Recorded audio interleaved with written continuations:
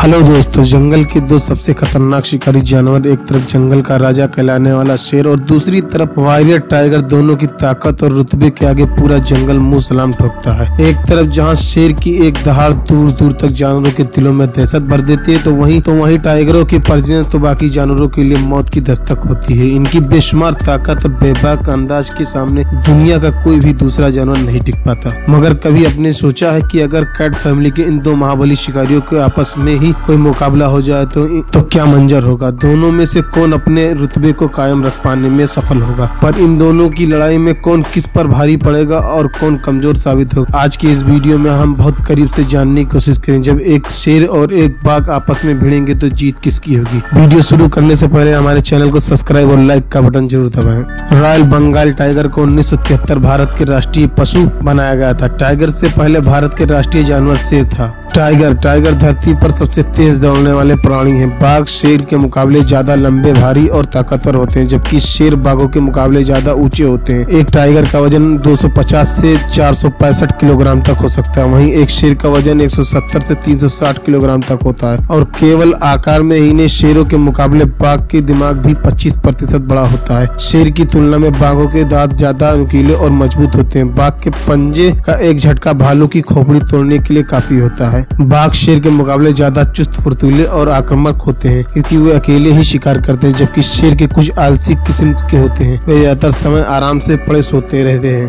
कभी कभी तो शेर 20-20 घंटे सोने में गुजार देता है। बाघ बेहद क्रूर और हिंसक जानवर है, चाहे उसे भूख लगी हो या नहीं। शिकार को देखते ही उस पर झपट्टा मार देता है, लेकिन दूसरी तरफ़ शेर केवल पेट भरने के लिए शिकार करता है। शेरों को अगर भूख न लगी हो तो उन्हें किसी से ज़्यादा मतलब नहीं होता। वे आराम ही फरमाते रहते हैं। बाघ शानदार तैराक भी होते हैं। बाघ छह किलोमीटर तक आराम से तैर सकते हैं। बाघ नदी में बड़ी आसानी से शिकार कर सकते हैं। वे अपनी भारी से भारी शिकार को लेकर नदी भी पार कर सकते हैं। इसके साथ ही बाघ छह मीटर से भी ज़्यादा और लंबी पाँच मीटर तक ऊँची छलांग लगा सकता है। तो फिर जंगल के राजा शेर क्यों?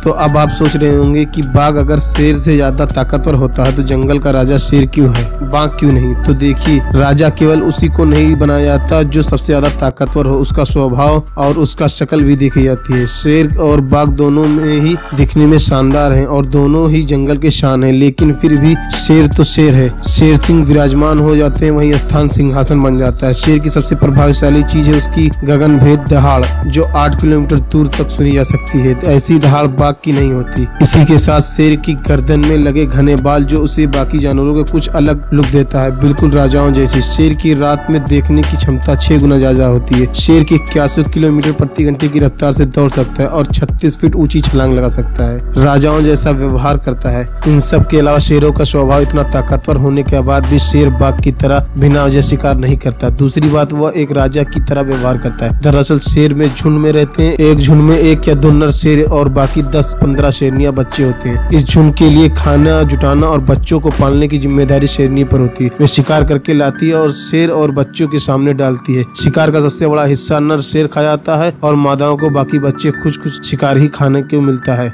नर शेर झुंड की सीमा पर नज़र रखते हैं और झुंड की रक्षा करते हैं। वो घुसपैठियों के पीछा भी करते हैं, यानी नर शेर एक राजा की तरह आराम करता है और झुंड की दिशा निर्देश देता है। बस यही कुछ ऐसी बात है जो शेर को जंगल का राजा बनाती है।